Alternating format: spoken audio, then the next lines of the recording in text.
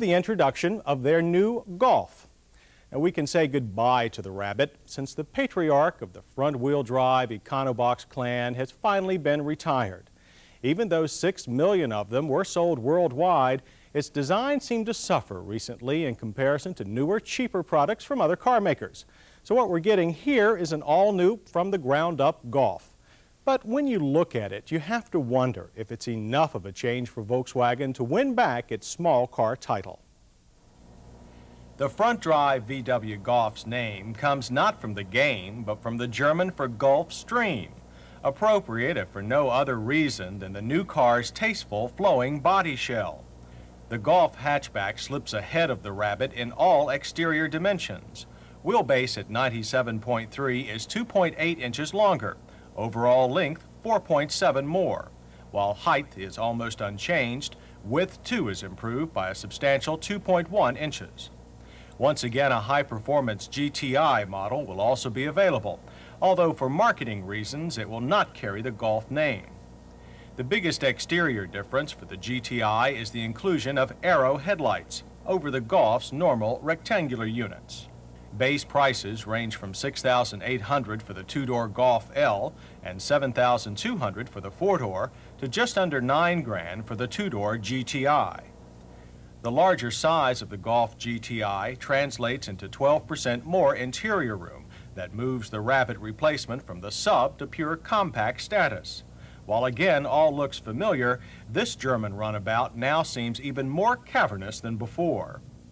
All seats are improved in support while the GTIs are very firmly comfortable for even the longest trips. We drove this car coast to coast and should know. The dash once again is understated, with the base Golf having only tach, speedo, fuel, and water temp readouts. The GTI adds to the Golf's digital clock with a stalk-operated display for oil and outside air temperature, along with trip distance, speed, and fuel use data. Rear seating is now capable for three adults. While a solid folding rear seat is standard, this split backrest is optional on the Golf and standard on the GTI. Even with the rear seat in place, Luggage space in the Golf and GTI is up 30%.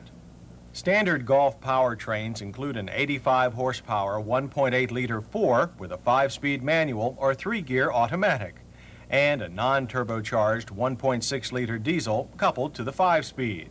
Only the also all-new Jetta gets a turbo diesel. But it is this 100 horse high output 1.8 of the GTI that really runs with the current. The 11% more power than last year's Rabbit GTI means the new car can cope well with its 130 extra pounds.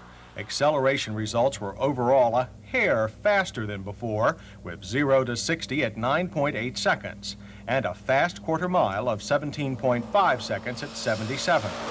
Power transfer is smoother in the new GTI, with no noticeable engine vibes and a much slicker shifting close ratio 5-speed but we can't say that handling in the GTI is also improved. Its larger size translates into a less nimble feel in turns. Body roll is higher, and the rear will come unglued with less warning.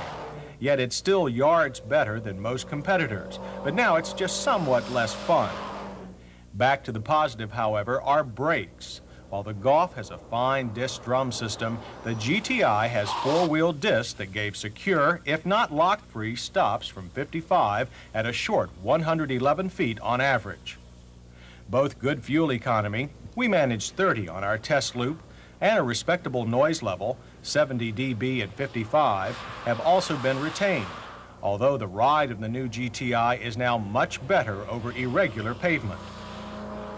So, in a nutshell, we came away from the new Golf and GTI very impressed. Superior cars in almost all respects.